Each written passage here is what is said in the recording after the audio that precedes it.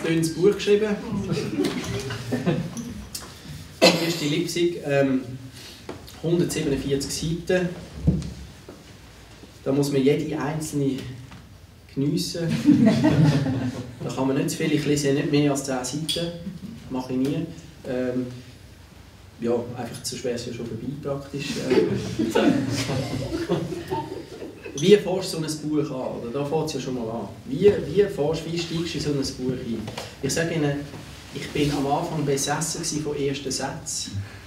Zum Beispiel, wenn ich in der Post war und haben mir irgendeinen Brief abgegeben, dort hat sie mittlerweile auch Bücher und neben allem, was man sonst noch kaufen in der Post.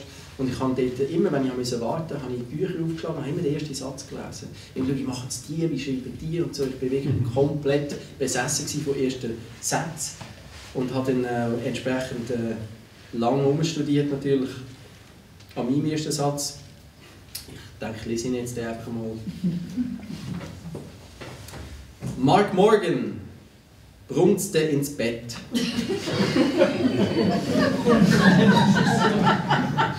Nein, Sie können sich nicht vorstellen, wie lang. Und wie viele Nerven.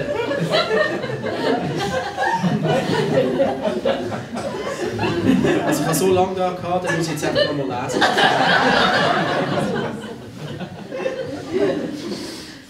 Mark Morgan brunzte ins Bett.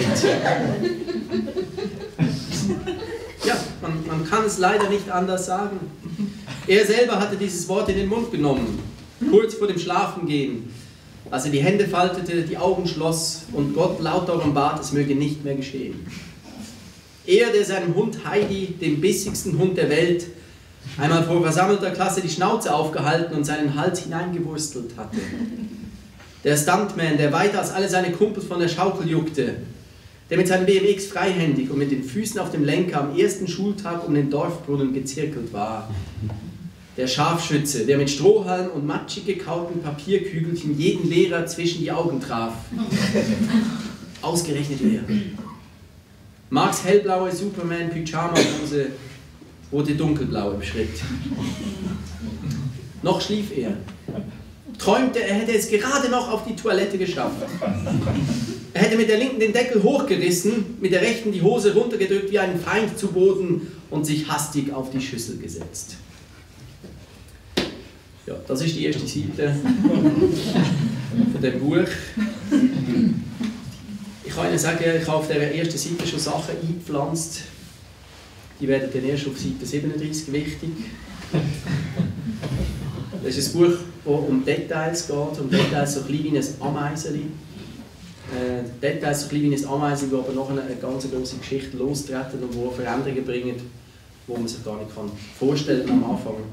Ähm, um das ist mir gegangen. So um, darum auch ist es so ein dünnes Buch. Es ist wirklich äh, sehr komprimiert alles. sehr komprimiert. Und ähm, ich denke, ich möchte Ihnen auch nicht viel mehr lesen über die Hauptperson, das ist der Mark. Ich kann Ihnen vielleicht noch erzählen, wie ich, wie ich mir ihn vorgestellt habe. Und zwar habe ich äh, das Buch geschrieben an verschiedensten Orten. Ich habe keinen fixen Schreibort, es ist immer mehr gefühlsmäßig, wo ich gerade äh, in den Fluss komme. Äh, häufig bin ich in der Stadtbibliothek Baden und dort äh, am Fenster gesessen und habe auf die Straße gesehen und am Fußgängerstreifen. Und dann ist dort ein Mann, also ein Vater mit seinem kleinen Bub zu laufen gekommen. Und der Vater ist ein bisschen voraus, am Handy, natürlich etwas am, am, am Anschauen und sein kleiner Bub hinter ihm, völlig in einer anderen Welt. Der hat irgendwie ein Pfeil, man hat nichts in der Hand, aber irgendwie imaginär einen Pfeilbogen in der Hand gehabt, irgendwie hat sich durch den Dschungel gekämpft, wer, wer weiß es. Aber man hat gemerkt, er ist komplett in seiner Fantasiewelt inne und man hat ihm zugeschaut, man hat wissen, wo ist er, was macht er, was erlebt er für Abenteuer.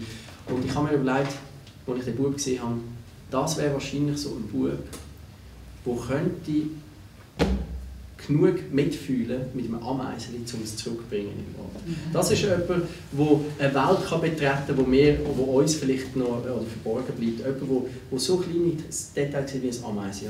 Und diesen Bub habe ich mir vorgestellt. Und der Mark Morgan, übrigens Namen, Namen sind natürlich enorm wichtig, oder was für ein Name ist jetzt deiner Figur. Mark Morgan, äh, es gibt mehrere Gründe, wieso dass ich ihn Mark Morgan genannt habe.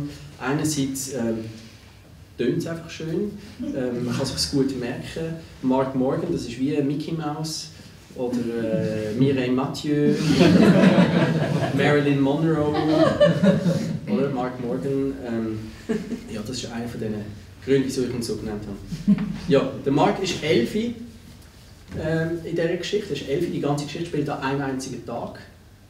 Kurz, äh, er ist an einen neuen Ort angekommen mit seinen Eltern und äh, fühlt sich noch nicht so daheim. Er ist erst angekommen in einer grossen Villa wohnen. Sie haben relativ gut viel Geld äh, und es ist ihm langweilig.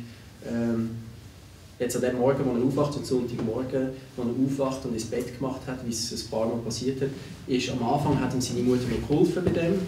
Mittlerweile hat sie gesagt, du, das kannst du jetzt selber wegmachen. Und das macht er auch und dann ist es um 8 Uhr morgen und es ist ihm langweilig und, und er fängt dann an zu spielen. Äh, und zwar spielt er Pirat und, und äh, fräst auf seiner Matratze im, vom, vom dritten Stock in dieser alten Villa äh, das ganze Stegenhaus ab und spielt Pirat. Um ihn herum tobt das Meer und, und er sieht das alles vor sich. Und unten am Boden